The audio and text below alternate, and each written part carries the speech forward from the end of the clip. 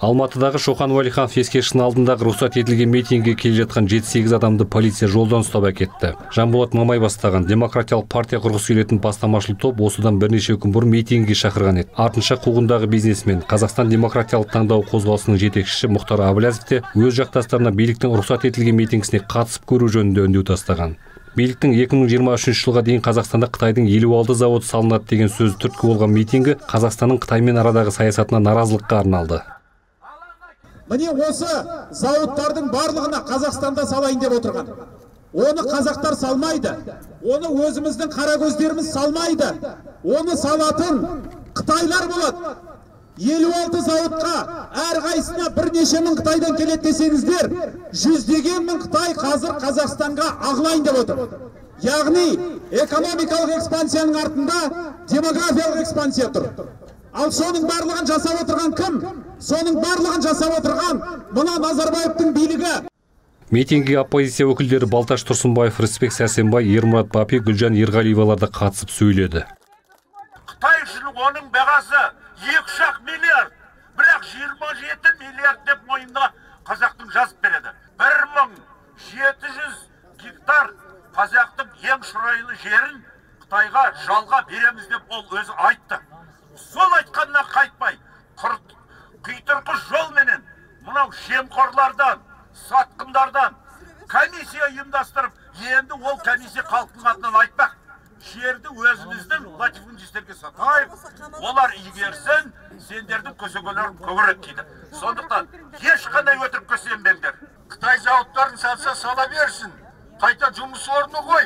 Соған қуанбаймыз ба дейді. Не дейміз бұған? Ол биліктің адамдары. Қытай елшілігінің алдына бірнеше рет жалғыз адам пикетіне шыққан серік әжібай қазақстан президентіне өлеңмен үндеу жолдады.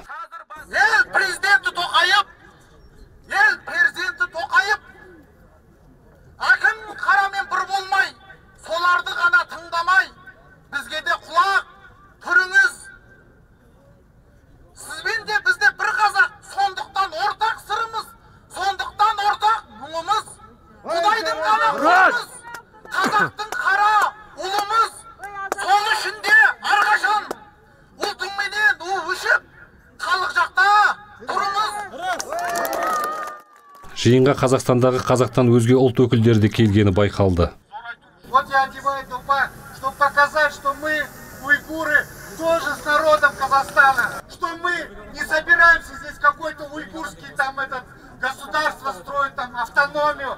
Мы за целостность Казахстана. Мы вышли, чтобы землю не продавали, чтобы заводы не строили. Үш сағатқа созылған жиын кезінде интернет ажырап тұрды. Митинг соңында жанболат мамай қытайдың елу алты зауытын салуды дереу тоқтатуды қытайдан қандай шартпен қанша қарыз алынғанын жариялауды жер сатылмайтын және жалға берілмейтін конституцияға енгізуді талап етіп резолюция оқыды. Резолюцияда саяси тұтқындарды босату оппозициялық ұйымдарды тіркеу талабы да айтылды. Митингі тарқамас бұрын белсенділер бүгінгі жиынға жете алмай жолдан ұсталған белсенділерді босатуды талап етті. Айтсаңыздар жауаптарыңызды берсеңіздерші. қазір бүкіл адамдардың барлығы төрт бес адамдар болды. Жаңағы провокатор олардың барлығы қазір жіберіледі. Жанболат мамай алматы нұр сұлтан шымкент қаласындағы мұхтар әблязов оған қоса ақтөбе қаласы мен аудан орталықтарындағы жақтастарын митингге шығуға шақырған болатын ақтөбеде митинг өтетін базар маңын полиция жаппай бақылауға алып бес алты адамды ұстап әкетті және дәл сол уақытта қар тазалап мұз оятын техника мен адамдар күрт көбейді белгісіз адамдар азаттық тілшісінің жұмысына бөгет жасады полиция оларға шара қолданбады Ты же мешаешь мне работать. Кімсіз сен? Олар менің басқан ізімді аңдып жүр бір сағаттан бері. Неге шара қолданбайсыз?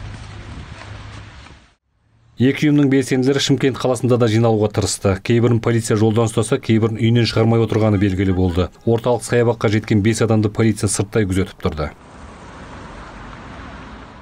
Жанболат мамай бастаған тіркелмеген демпартия мен мұхтар әблязов бастаған тіркелмеген қдд қозғалысы кейінгі жылдары қарсылық жиындарын жиілеткен қдд қозғалысын қазақстан соты экстремистік ұйым деп шешім шығарған. Ал еуропарламент бейбіт оппозициялық қозғалыс деп санайды. Ақпанның 28-іне шеруге шыққан жанболат мамай бастаған бір топ белсендіні полиция кетлинг тәсілімен 10 сағаттан аса құрсауда ұстаса әблязов белгілеген жерге бара жатқан белсенділерді жолдан ұстап әкеткен болатын.